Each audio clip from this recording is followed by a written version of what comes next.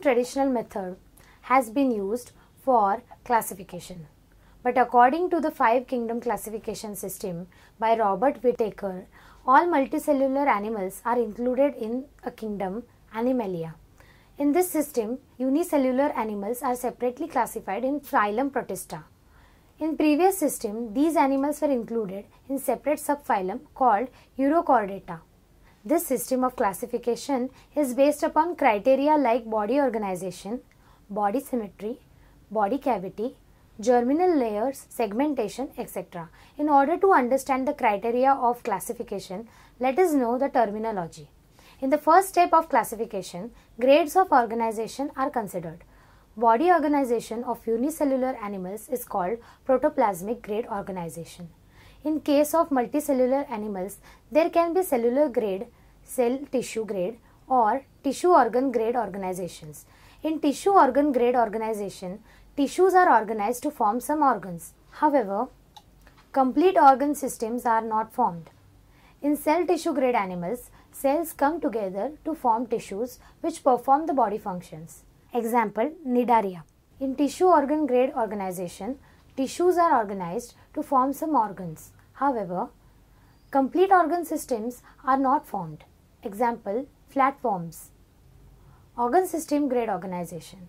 These animals have different organs joined together to form organ system that performs specific functions. Example, human organ systems like respiratory, digestive system. The second step of classification. Body symmetry is considered for classification. Body symmetry means if we imagine section of the animal body through specific plane to get two equal halves or not, depending on this property, there are different types of animal bodies. Asymmetrical, radial and bilateral symmetry. Asymmetrical body. In such cases, there is no such imaginary axis of the body through which we can get two equal halves. Example, amoeba. Radial symmetry. In this type, if imaginary cut passes through central axis but any plane of the body, it gives two equal halves. In case of starfish, there are five different planes passing through central axis of the body through which we can get two equal halves. Bilateral symmetry. In this type, there is only one such imaginary axis of body through which we can get two equal halves. Example, our face. Our body is bilaterally symmetrical. In the third step of classification, body cavity is taken into consideration. Cavity between the body and the internal organs is called as body cavity or coelom.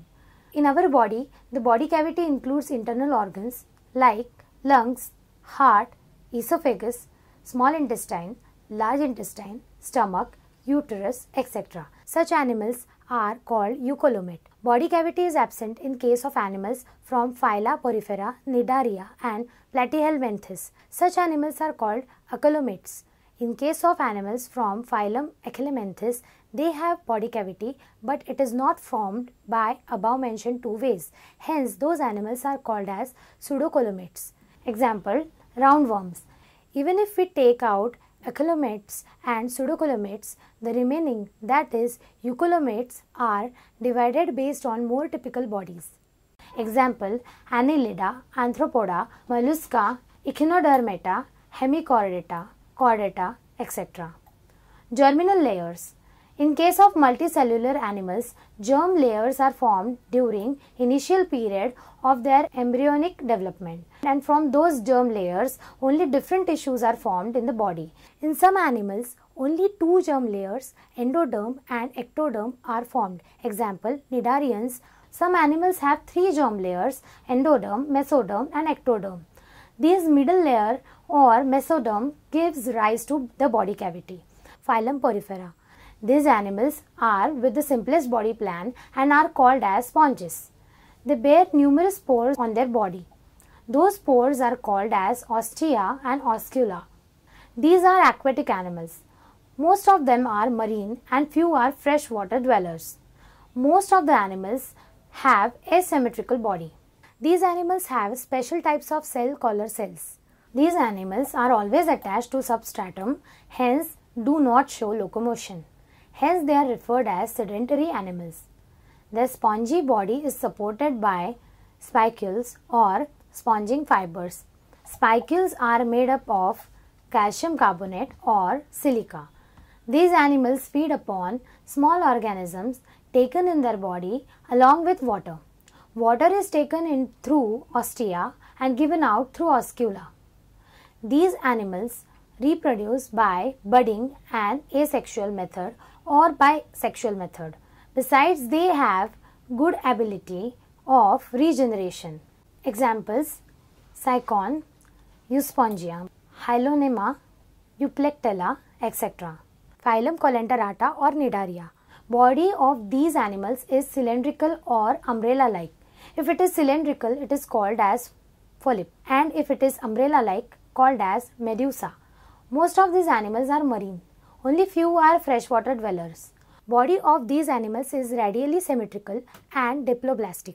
Cnidoblasts bearing tentacles are present around the mouth.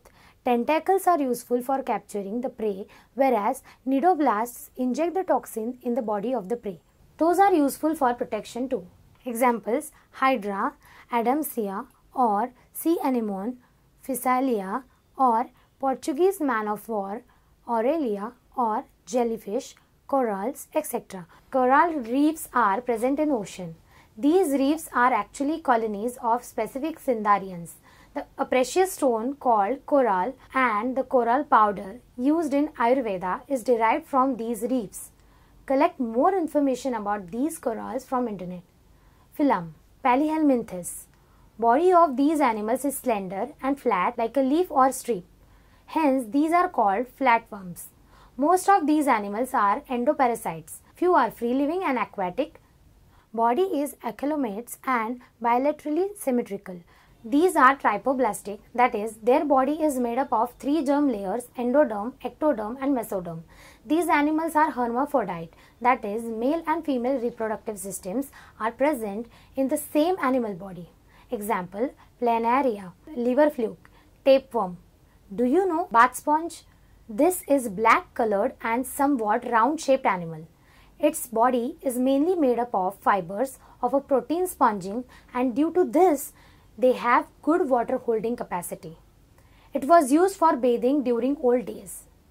Besides, it was also used for manufacturing of pillows and cushions. These were also used as wetting material for sticking postal stamps and counting their currency notes.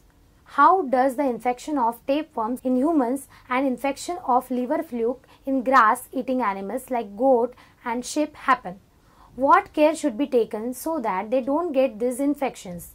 Phylum Aschelminthes. Body of these animals is long thread-like or cylindrical. Hence, they are called as roundworms. These animals are either free-living or endoparasites. Free-living animals are either aquatic or terrestrial. Body of these animals is triploblastic and pseudocoelomate. Body of these animals is non-segmented and covered with tough cuticle. These animals are unisexual.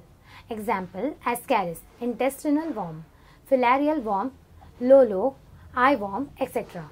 Find out how do the roundworms like intestinal worms, elephantiasis worms, worms in plants infect them what care should be taken not to get these infections? If infected, what remedy should be used?